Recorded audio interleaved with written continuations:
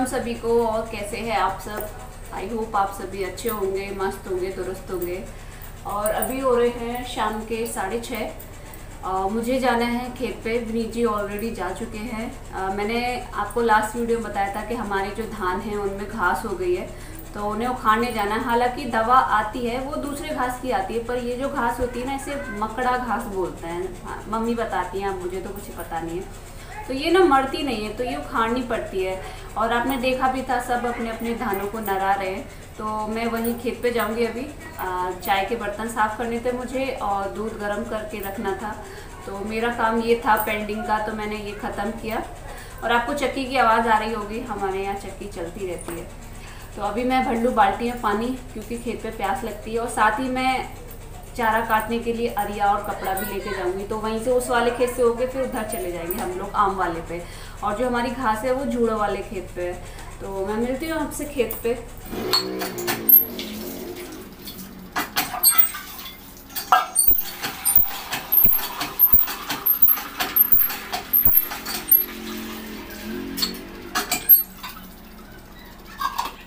ये देखो क्या है, देखो और से देखो। ई, छी छी छी छी। इन्हें देख के इतनी घिन आ रही है बहुत ज़्यादा। देख रहे इन्हें गिड़ा, ये ना पता नहीं कौन सी गिड़ार होती हैं। जौक तो नहीं बोलते हैं, जौक तो पानी वाली होती है जो चिपक जाती है। ये जगह जगह आपको मिलेंगी यहाँ पे। घिनावना एकदम। अंदर से एकदम ऐसे रोंगटे से खड़े हो रहे हैं ना देख के। चलती हूँ, मन नहीं कर रहा, पर मिली रास्ते में तो मैंने आपको दिखा दी। देखो, ये रहे नीची ये घास निकाल रहे आ, ये ना हमारा जो ट्रॉली वाला खेत है ना उसके छो एक तरफ़ से दूसरी तरफ़ बीच में लग रहे हैं। मैं तो हो गई थोड़ी लेट आने में। तो नीची ने बोला तू न्यार काटियो मैं आ रहा हूँ। तो मैं तो जा रही हूँ चारा काटने यानी ज्वार। मेरा फेस नीला नीला क्यों दिख रहा है? लग ही रहा है मुझे।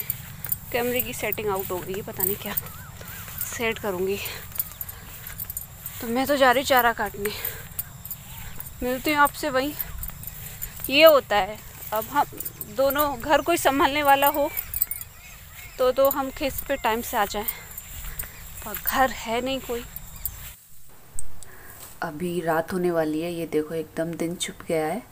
और ये पता है, ओस आ गई है धानों पे। कितनी अच्छी लग रही है, जैसे, है ना छोटे छोटे बल्ब जल गए हो। कितने सुंदर लग रहा है, सच्ची में। ये ना मुझे बड़ा अच्छा लग रहा था। मुझे मेरा तो ध्यान ही नहीं था। मुझे तो विनीत जी ने बताया, ओस आ गई बल्ब से जल रहे बहुत ही सुंदर लग रहा है है ना? मेरा मन, ऐसा होता है ना, वॉलपेपर वगैरह होते हैं वो। और मैंने थोड़ी सी काट ली थी और फिर विनीत जी आ गए थे क्योंकि रात होने वाली थी ना इसी वजह से। तो ऐसे हमारे यहाँ औरतों को अकेला खेत पे नहीं छोड़ते और सभी जगह नहीं छोड़ते यहाँ का। तो इसीलिए आ गए थे वो जल्दी। यहाँ मम्मी और विनीत जी पिला रहे हैं पड्डे को तेल इसकी पॉटी टाइट हो गई है इसी वजह से सरसों का तेल पिला रहे हैं। तो तुम मुँह खोला वो डालें। ए बो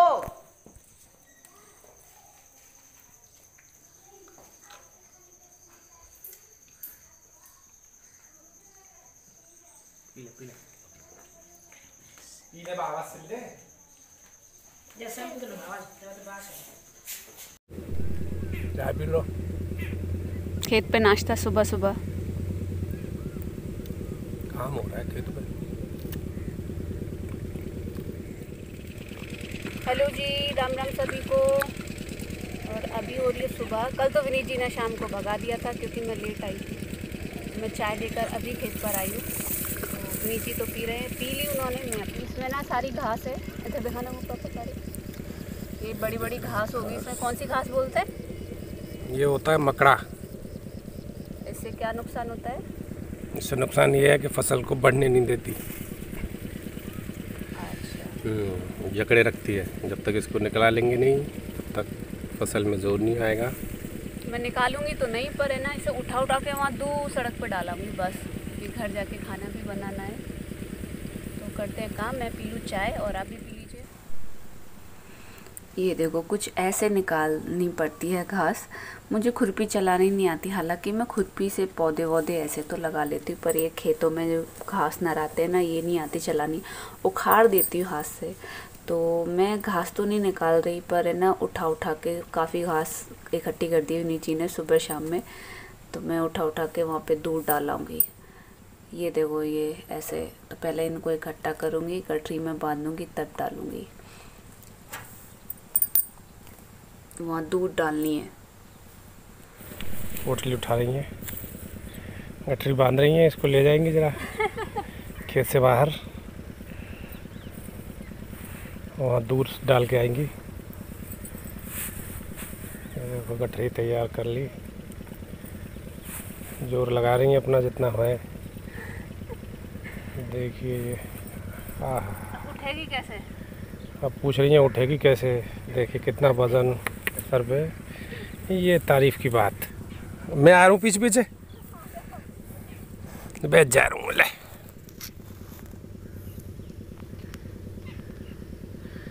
ये देखिए बहुत दूर ले जा रही है खेत से। खेत के बाहर डालने। ये डाल दिया।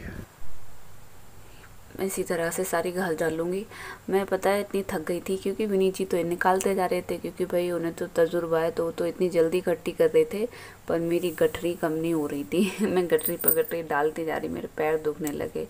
और घर पर मैं ना आधा काम ख़त्म करके आई थी नहाने से पहले का जो भी काम होता है मेरा उसके बाद यहाँ आ गई।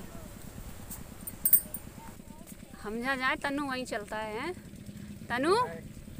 हाय बोलो। ये देखो मिट्टी से खेला जा रहा है नहा निला के आई थी से ये देखो। देखो डंडा।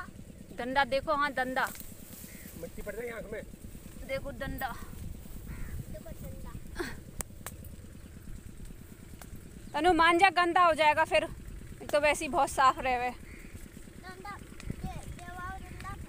सबकी मक्का कट रही है। ये भी मक्के का खेत था देखो वो मक्का पड़ी है उधर ये देखो पक्का पहिए हाँ मक्का पही है। अच्छा। ये देखो सबकी मक्का कट रही है और इधर देखो सक्षम की भी मक्का कट रही है।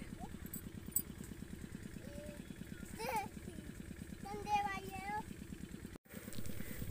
अभी बज गए हैं सवा ग्यारह और अब हम जा रहे हैं घर। नहाएँगे खाना बनाएँगे तब जाके फ्री होंगे। नीचे आ जाएँगे शाम को। मैं भी आ जाऊँगी थोड़ी देर। ये है सक्षम का खेत। आ, सक्षम की मक्का निकल रही है। ये खुद ही निकाल रहे हैं खुद ही काट रहे हैं। ट्रॉली की आवाज़ आ रही थी तो मैंने आवाज़ थोड़ी कम कर दी। है ये है मेरी जेठानी ताई सास की। तो मैं इनको शूट कर रही थी तो बोली मैं ऐसी खड़ी हूँ तो मुझे ऐसी दिखा रही है तो मैंने कहा कोई बात नहीं। तो ये ना कुछ ऐसे निकालते हैं जैसे निशान निकाल दिए ना भुट्टे ये ऐसे देखो ये छील छील के इसमें से निकाल देते हैं। फिर मशीन ट्रैक्टर होता है ना मशीन द्वारा मक्का को निकाल दी जाती है। मैं ताई को शूट कर रही थी, ताई बोल रही थी, अरे मोकू तो रहंदा है तू, मैं तो ऐसी सही हूँ। ये देखो, ये पहले ऐसे छील छील के डाल लेंगे फिर ये खुद ही घर पहुँचा रहे और बारिश आने का डर है सभी को, सभी सोच रहे क्योंकि सबकी मक्का निकल रही है ऐसे ही। और बारिश आ गई ना तो फिर सारी मक्का ख़राब हो जाती है, सबको डर लग रहा है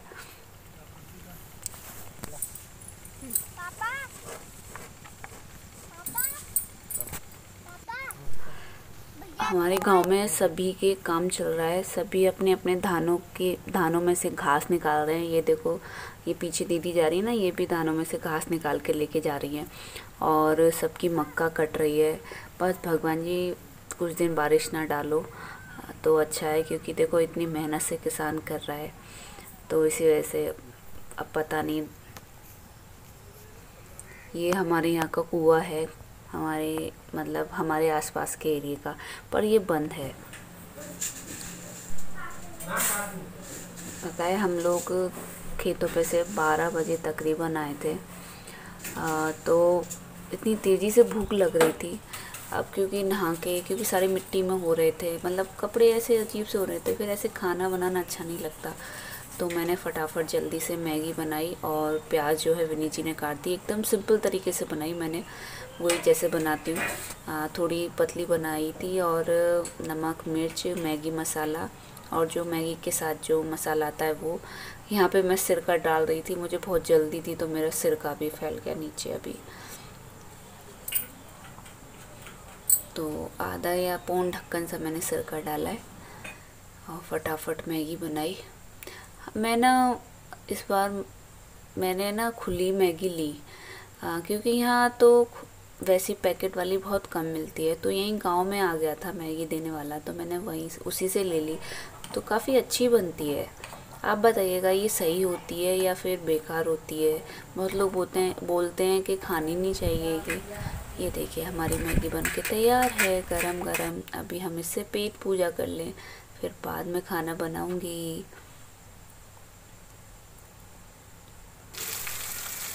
और लो जी, जिसका डर था वही आ गई। बारिश का ही डर था और बारिश आ भी गई है, देखो। का मतलब ज़्यादा तेज़ तो नहीं हो रही थी, पर यही कम से कम आधा घंटे बारिश हुई। और पता ऐसे में ही सक्षम ने, सक्षम के घर वालों ने अपनी मक्का ढोई थी। वो हाथों से ही धोई थी, क्योंकि ट्रैक्टर वहाँ जा नहीं सकता था। और फिर मैंने बनाई थी चटनी और हाथ की रोटी। तो मैं बना रही हूँ हाथ की रोटी। पता है, थकावट हो और खाने को कुछ भी मिल जाए ना, रूखी सूखी में भी इतना स्वाद आता है, बहुत ज़्यादा करके स्वाद आता है। और मुझे तो चटनी और हाथ की रोटी बहुत ही अच्छी लगती हैं। पीछे विनीत जी तनु को दूध दे रहे थे, क्योंकि दोपहर हो गई थी, उसको नींद आ रही थी इसी वजह से। तो मैं ऐसे ही रोटी बना लूँगी हाथ की। आ, क्योंकि आपको पता है मुझे जब जल्दी होती ना तो मुझे बस हाथ की रोटियाँ ही अच्छी लगती हैं। तो विनी जी बोले चल चटनी बना लेते हैं आज सब्ज़ी नहीं बनाते। और वैसे भी घर पे कोई सब्ज़ी थी भी नहीं हमने इसलिए और चटनी बनाई। और ये देखो ये है चटनी। इसमें कुछ नहीं डाला हमने। टमाटर हैं तीन हरी मिर्ची है और ज़ीरा हींग जो वैसे रेगुलर मसाले होते हैं वही होते हैं। निकाल ली जो आराम से पट्टा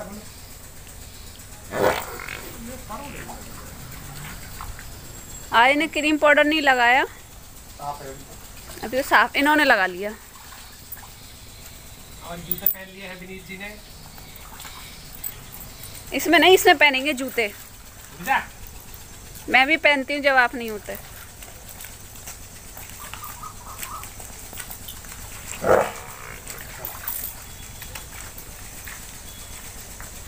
चलो। चलो चलो। ये जो ना खुलते अपने सीधे मम्मी के पास भागता है दूध पीने। और इसे ये नहीं पता मेरी मम्मी दूध जो काफ़ी देर में देती है मुझे। क्योंकि 10 से 15 मिनट तो भैंस फसराने में ही लग जाते हैं। चलो छोटा बच्चा है, जैसे होता है ना, छोटा बच्चा कहीं भी हाथ वाथ भी टच हो जाए तो वो ये समझता है, माँ का दूध है तो ये भी भाई बच्चे ही हैं इनके।